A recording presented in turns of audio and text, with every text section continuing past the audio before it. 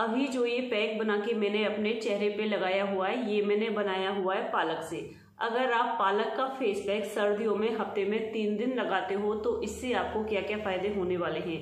अगर आपको बहुत ज़्यादा डार्क सर्कल की प्रॉब्लम है तो आपके जो डार्क सर्कल हैं धीरे धीरे लाइट होने लगेंगे और कुछ टाइम के बाद बिल्कुल खत्म हो जाएँगे। अगर आपकी आँखों के आसपास ये जो एरिया हमारा होता है, यहाँ पे आपको बहुत ज़्यादा रिंकल्स की प्रॉब्लम है तो ये भी धीरे धीरे काफ़ी हद तक आप इन्हें कंट्रोल कर सकते हो। अगर आपकी स्किन बहुत ज़्यादा ड्राई रहती है, आप कुछ भी अपने चेहरे पर लगाते हो और कुछ समय के बाद आप देखते हो जो आपकी स्किन है, काफ़ी ज़्यादा ड्राई हो जाती है। तो आपको अपनी ड्राई स्किन से भी छुटकारा मिलेगा। ये पैक आपकी स्किन को नेचुरल तरीके से ग्लोइंग बनाएगा और नेचुरल चमक आपकी स्किन पर लेके आएगा। अगर आपके चेहरे पे पिंपल्स के जैसे कि होता है ना, हमारे जो पिंपल्स होते हैं, वो तो ठीक हो जाते हैं, लेकिन उनके जो निशान होते हैं, वो हमारे चेहरे पे पड़े रहते हैं। जैसे कि आप यहाँ पे मेरा देख ये मेरा पिंपल का निशान नहीं है यहाँ पर मुझे काटा था एक मच्छर ने तो मच, मेरे साथ में ऐसा होता है मेरी स्किन ऐसी है कि मच्छर भी अगर काट जाता है तो वो ऐसे ठीक नहीं होता फिर उस पर मतलब वो पक जाता है जैसे कि पिंपल हो जाता है ना तो ऐसा हो जाता है। और उसके बाद फिर वो धीरे धीरे लाइट होने लगता है। लेकिन अगर हम अपनी स्किन की केयर नहीं करेंगे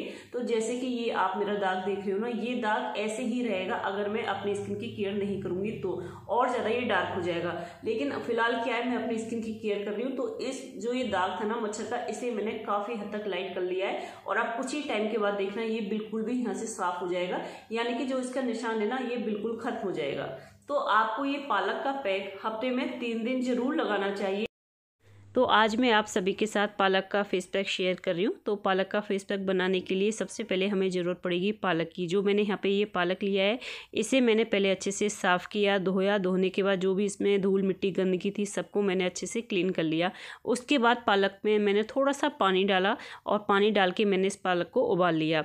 उबालने के बाद अब मैंने इसे थोड़ा सा ठंडा होने के लिए छोड़ दिया है। और अब मैं क्या करूँगी, जो ये पालक है, इसे निकाल के मैं डालूँगी एक मिक्सी जार के अंदर और इसे मैं अच्छे से ग्राइंड कर लूँगी। तो ये तो है मेरा पहला तरीका। अगर आप इसे उबाल कर यूज़ में नहीं लेना चाहते तो आप क्या करें, कच्चा पालक लेकर उसे साफ़ ज़रूर करें। और साफ़ करने के बाद अच्छे से उसे कच्चा ही पालक को आप अच्छे से पीस लीजिए। जैसे कि मैं यहाँ पर उबले हुए पालक को पीस रही हूँ। तो जो भी पालक था, सारा मैंने डाल दिया है मिक्सी जार के अंदर। और अब मैं क्या करूँगी, इसका एक स्मूथ पेस्ट तैयार करूँगी। तो यहाँ पे जो पालक है, इसे मैंने अच्छे से पीस लिया है और पीसने के बाद आप अपनी ज़रूरत के अनुसार इसमें से एक चम्मच भर के ले लीजिए पालक। पालक का पेस्ट मतलब जो हमने ये तैयार किया है। पालक का जो पेस्ट है, अब आप इसे इसी तरीके से अपने चेहरे पे नहीं लगा सकते हो। इसे और ज़्यादा इफ़ेक्टिव बनाने के लिए मैंने इसमें डाला है एक चम्मच भर के एलोवेरा जेल। ये मैंने मार्केट का लिया है। आप जो आपके घर में लीफ है, इसका मतलब प्लांट है, उसके भी लीफ तोड़ के उसका पल्प आप निकाल के ले सकते हो। एक चम्मच भर के मैंने इसमें डाला है बेसन। बेसन आपकी स्किन को सूट नहीं करता है, चावल का आटा या फिर मसूर की दाल का पाउडर इनमें से कोई भी आप एक ले सकते हो। और ये मैंने इसमें डाला है कम से कम पाँच से छः बूंदे कोकोनट ऑयल की। अगर ये आपकी स्किन को सूट नहीं करता है तो आप इसकी जगह almond oil vitamin E oil या फिर ऑलिव ऑयल इनमें से कोई सा भी ऑयल की चार से पाँच या फिर पाँच से छः बूंदे आप ले सकते हो। सबसे लास्ट में मैंने इसमें डाली थी आधा चम्मच ग्लीसरीन ग्लीसरीन डालना इसलिए ज़रूरी है क्योंकि जो ग्लीसरीन होती है, थोड़ी सी गर्म होती है।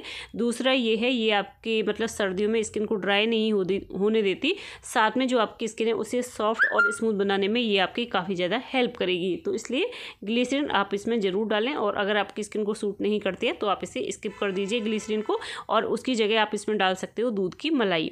तो देखिए, अब मैं आपको बताती हूँ इस पैक को लगाने का तरीका। सबसे पहले तो आपको अपने मेकअप को और मतलब साफ़ कर लें, उसके बाद अगर मेकअप नहीं है लेकिन धूल मिट्टी आपके चेहरे पे है तो उसे आप अच्छे से क्लीन कर लें। क्योंकि अगर आप धूल मिट्टी या फिर मेकअप वाले चेहरे पर कोई भी पैक लगाते हो तो उसका रिज़ल्ट आपको नहीं मिलेगा।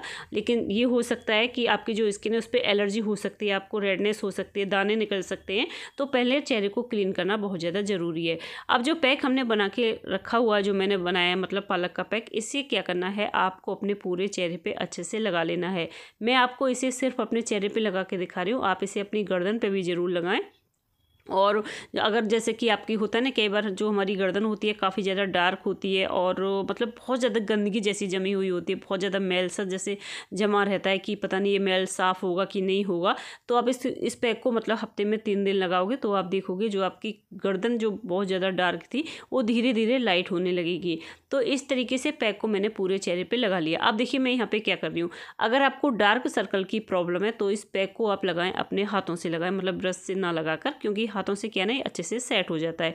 तो आँखों के नीचे आपको एक मोटी सी लेयर बनाकर छोड़नी है।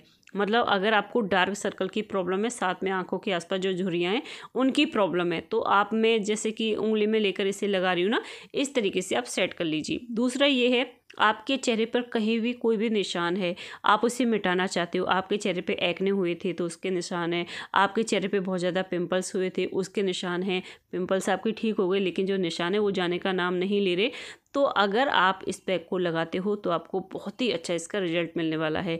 तो आप क्या करें, जहाँ पर आपको निशान है, उस जगह पे आप एक मोटी सी लेयर बना लें, अपने हाथों से अच्छे से सेट कर लें, और जो आपका दाग है, बिल्कुल भी दिखाई नहीं देना चाहिए। मतलब आपको पैक से उसे अच्छे से कवर कर देना है। जैसे कि अभी मैंने आपको दिखाया था ना, मेरे एक साइड में जो मच्छर ने मुझे काटा था, उसका निशान है। अभी मैं आपको आगे बताऊँगी, वीडियो को पूरा देखना। तो उसका निशान क्या है, पहले बहुत ज़्यादा डार्क था, मेरे साथ में एक अलग ही प्रॉब्लम होती है मेरी स्किन पर अगर मुझे मच्छर भी काट जाता है ना तो उसका निशान भी मेरे चेहरे पर पड़ जाता है। लेकिन मैं क्या करती हूँ केयर करके उसे ठीक कर लेती हूँ। तो अभी मैंने पैक को लगाकर और इसे छोड़ दिया था पूरे दस मिनट के लिए। आपको भी इसे पैक को लगाकर पूरे दस मिनट के लिए छोड़ देना है। उसके बाद आपको क्या करना है, इस पैक को आपको इसी तरीके से साफ़ करके नहीं निकालना है।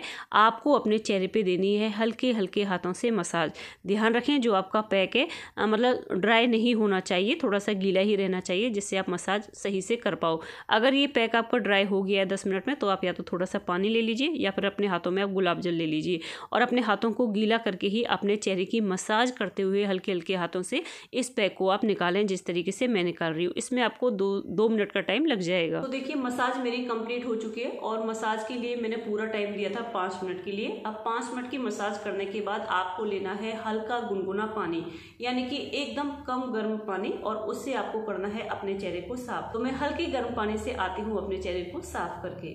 तो चेहरे को मैंने साफ़ कर लिया है और चेहरा साफ़ करने के बाद आपको लेना है थोड़ा सा कोकोनट ऑयल तो यहाँ पे मैंने थोड़ा सा लिया है कोकोनट ऑयल इसे आपको इस तरीके से अपने हाथों पे करना है थोड़ा सा गर्म। ऐसे आप इसे गर्म करिए। हाथों को रगड़िए। जब ये अच्छे से गर्म हो जाए, आपको लगे कि आपके हाथों में गर्माहट आ गई है, उसके बाद आपको इसे अपने चेहरे पे इस तरीके से लगा लेना है। तो मसाज के लिए आपको पूरा टाइम देना है दो मिनट का। और जो आपने ये कोकोनट ऑयल लिया है, आपको इससे तब तक अपने चेहरे की मसाज करनी है, जब तक ये आपकी स्किन के अंदर तक एब्जॉर्ब नहीं हो जाता। तो देखिए, मैंने दो मिनट की मसाज की। दो मिनट की मसाज के बाद आप देख सकते हो स्किन पे बिल्कुल ऐसी चमक आएगी जैसे कि आपने कोई फेशियल कराया है। अगर आप ये पालक का फेस पैक हफ़्ते में तीन दिन लगाते हो तो आपको इससे अपने डार्क सर्कल से छुटकारा मिलेगा। आँखों के आसपास जो झुरियाँ होती है, ये भी काफ़ी हद तक कंट्रोल में रहेंगी।